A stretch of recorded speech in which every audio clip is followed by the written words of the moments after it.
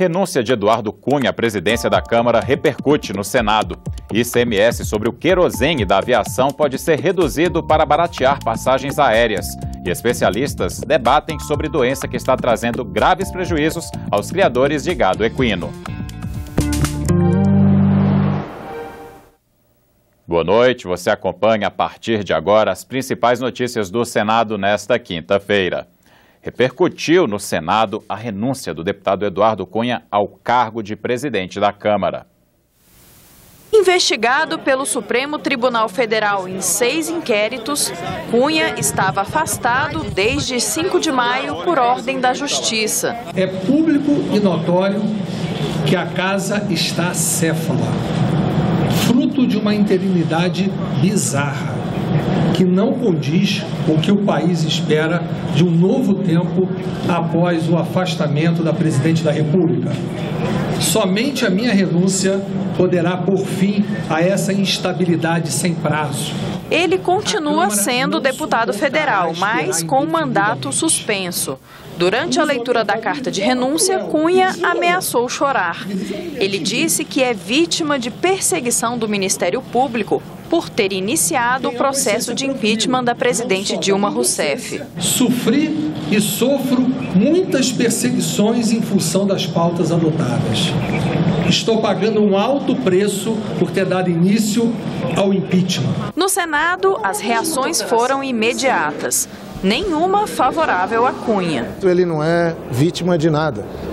O Brasil é vítima, a democracia brasileira é vítima e essa crise tem na ação do, do, do agora ex-presidente da Câmara, um dos seus maiores protagonistas. Eu espero sinceramente que não seja a primeira parte de um acordo envolvendo o presidente Temer e a maioria parlamentar para fazer esse senhor escapar da cassação e, por conseguinte, escapar dos crimes que cometeu. Tem uma articulação aí envolvendo vários partidos, o governo do presidente Michel Temer, porque tem muita gente com medo da prisão e da delação do Eduardo Cunha. Uma delação do Eduardo Cunha é explosiva. Esse governo Michel Temer não aguenta um dia. O acordo é possível que tenha ocorrido. Não creio que ele seja bem sucedido. Não imagino seja suficiente para salvar o mandato do deputado. O crescimento do transporte aéreo de passageiros na última década tem sido freado pela atual crise econômica. O resultado? Queda no número de voos e aumento no preço das passagens. Para estimular o setor, o Senado analisa um projeto de resolução que fixa um teto para a alíquota do ICMS sobre o querosene de aviação. A proposta foi tema de audiência pública na Comissão de Assuntos Econômicos. O número de passageiros de transporte aéreo no país saltou de 30 milhões ao ano em 2002 para 100 milhões em 2015 mas dados da Associação Brasileira das Empresas Aéreas mostram que o setor enfrenta hoje 10 meses consecutivos de queda na demanda por passagens. Nos últimos três anos, o prejuízo alcança 10 bilhões de reais. Para estimular o setor, o Senado analisa um projeto de resolução que fixa em 12% a alíquota máxima do ICMS sobre o querosene de aviação, que hoje varia de 3% a 25% conforme o Estado. Em audiência pública na Comissão de Assuntos Econômicos, o representante das empresas aéreas insistiu que a principal contribuição para a crise do setor vem do custo do combustível. Ele representa 40% do valor dos bilhetes aéreos e sofre influência da variação do câmbio, do preço no mercado internacional e dos tributos internos. Aproximadamente 70 aviões já foram devolvidos pelas empresas, pela aviação brasileira, aos lessores ou eh, sublocados a empresas de outros países. Por quê? Porque a demanda não sustenta o custo. A proposta tem apoio do governo federal. O Brasil é o único país no mundo que, em que incide tributos estaduais sobre o querosene de aviação. E eu acho que a gente, a gente gosta muito quando a gente é cobrado sobre nível de serviço, nível de preço, a gente é sempre comparado com o resto do mundo. Então acho que a gente tem que buscar aproximar nossa regulamentação também do resto do mundo e trazer isso para um padrão internacional. Mas secretários de Fazenda estaduais insistem que não podem abrir mão de receita. Para o estado de São Paulo, por exemplo, a perda é de 300 milhões de reais por ano. O Brasil não suporta abrir mão, o governo brasileiro, os estados brasileiros podemos abrir mão de receita neste momento. Então, se nós queremos evitar guerra fiscal nesse, nesse momento, é através do CONFAS, é através da discussão. É, ampla no CONFAS. Um avião que sai para Buenos Aires ou um avião que sai para dentro do Brasil, o ICMS de um não existe, o ICMS do outro existe, isso vale para a soja, isso vale para a carne. Então essa distorção não é prerrogativa do setor aéreo, ela é a característica do nosso sistema tributário, que é um sistema tributário absolutamente esquizofrênico e complexo. A proposta divide os senadores. É facultado ao Senado Federal Letra B, fixar a alíquota máxima nas mesmas operações para resolver conflitos específicos que envolvam interesse de Estados mediante resolução de iniciativa da maioria absoluta e aprovada por dois terços de seus membros. Não há um conflito manifesto entre os Estados. Claro que há. Não há. O que há é uma numa vontade manifesta de um setor da economia. Queria abrir o diálogo a partir dessa perspectiva, da perspectiva de 12 milhões de brasileiros que vivem na região amazônica.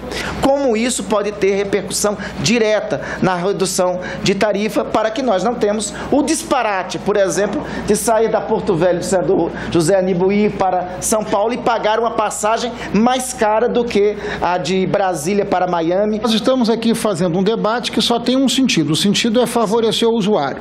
Qual é a resposta objetiva e concreta que nós poderemos estar dando para esse sofrido usuário que tem que se submeter a essa regra. Esse processo pode gerar, na medida em que ele se complete, claro que dependendo das circunstâncias em que ele se completa em cada estado, ele pode gerar de 50 a 70 novos voos diários saindo da região sudeste rumo da região mais sul-sudeste, né, eh, rumo a norte, nordeste e centro-oeste. A Comissão de Relações Exteriores aprovou o nome de vários embaixadores. Jorge Monteiro Prata, indicado para representar o país na Noruega e Islândia. Paulo César de Camargo, para Nova Zelândia, Tuvalu, Samoa, Kiribati e Reino de Tonga. E Evandro Didoné, para o cargo de delegado permanente do Brasil na Organização Mundial do Comércio e demais organizações econômicas sediadas em Genebra. As indicações seguem para votação no plenário. Uma doença que vem afetando o rebanho de equinos do Brasil foi tema de audiência pública na Comissão de Agricultura. O mormo tem obrigado criadores a sacrificar centenas de animais e provocado enormes prejuízos. O rebanho equino brasileiro possui cerca de 6 milhões de cabeças. Em 2014, foram notificados 114 casos de mormo no país. A doença não tem cura e é considerada uma zoonose, visto que pode ser transmitida aos seres humanos. O mormo se caracteriza por secreções nasais e problemas respiratórios nos equinos. Segundo os pesquisadores da rede pública e da rede privada, uma das maiores dificuldades no combate à doença é a incerteza nos testes laboratoriais.